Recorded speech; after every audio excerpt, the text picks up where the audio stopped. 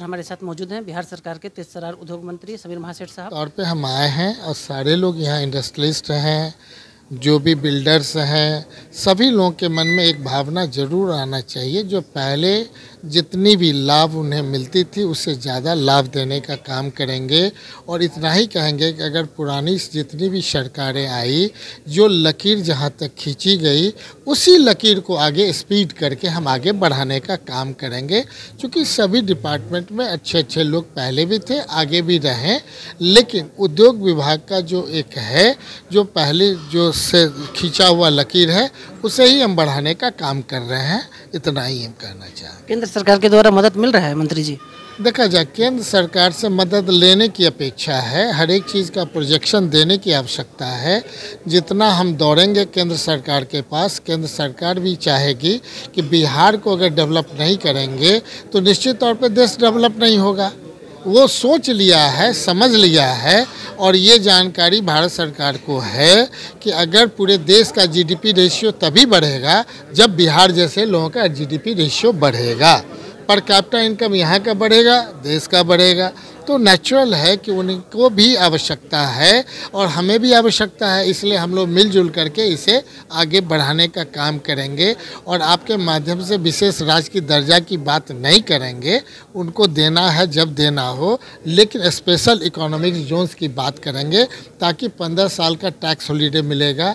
तो जो आज ज़्यादा महँगे में आप जो चीज़ खरीद रहे हैं, वो सस्ते में खरीदेंगे और जो भारत सरकार की नीतियाँ हैं जो दूसरे स्टेट के लिए आपने रिलैक्स किया है, बिहार को भी रिलैक्स करें। चूँकि नेपाल एक ऐसा है अस्थाई सम जब तक डैम नहीं बनाएँगे, हमारा बिहार आगे नहीं बढ़ेगा। जो हमारा, मैंने पॉल्यूशन से रिलेटेड जो पर्यावरण से रिलेटेड है, नेपाल से जो पत्थर आ रहा है, उसको आप चुन करके क्रशर जो है वहाँ, उसको चलवाने में आपको मदद करना पड़ेगा। तभी जो बिल्डिंग में जो हमारा मटेरियल है, बालू की उड़ाही और गाद नियम को आपको सपोर्ट करना पड़ेगा। उसी के चलते नेपाल से पानी आता है और बेस लाइन ऊँचा हो गया है। फ्री में बालू हम किन्हें भरने के लिए देंगे और तब जा कर के गाद नियम के तहत बालू और गाद निकल जाएगा। तो बाढ़ का अस्थायी समाधान हो जाएगा। जो सड़कें टूट रही हैं, जो हमारा बाँध टूट रहा है, टूटने से रुकेगा। और जब तक इस तरफ़ भारत सरकार का उत्तर प्रदेश चले जाइए दूसरे उत्तराखंड चले जाइए पत्थर चुन करके किन्हें क्रसर में जा रहा है तो हमारे यहाँ किन्हें बिल्डिंग मटेरियल बहुत महँगा है। पत्थर का कीमत देख लीजिए बालू का कीमत देख लीजिए सीमेंट और लोहा आप हर एक चीज़ों में देखिए बिहार सरकार मदद करना चाह रही है यहाँ पे भारत सरकार से मदद चाहते हैं। 2023 में विभाग का फ़र्स्ट एजेंडा आपने क्या सेट करके रखा है? देखा जाए पहला तो है कि बजट बढ़ेगा जैसे पिछले ही बार हम लोगों ने बजट के माध्यम से हम लोग अनुपूरक बजट में जो पहले से आज़ादी के बाद बजट रहा डबल करने का प्रयास किया। तो बिहार सरकार कह रही है, जितना खर्चा करिएगा, बजट हम बढ़ाएँगे। तो सबसे बड़ा चीज़ है, बजट बढ़ेगा तभी ना हम आगे बढ़ेंगे।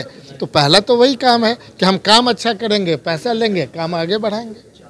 तो आप सुन रहे थे उद्योग मंत्री समीर महासेठ साहब को। साफ़ साफ़ इन्होंने कर दी कह दिया कि केंद्र सरकार को विशेष राज्य देना है, नहीं देना है। केंद्र सरकार के ऊपर निर्भर है। विभाग ने अपना फिक्स एजेंडा फिक्स कर लिया है और उद्योग विभाग तेज गति से आगे बढ़ रहे हैं। हमारे सहयोगी रंजन के साथ कौशलेंद्र पटना से। Right message right communication country news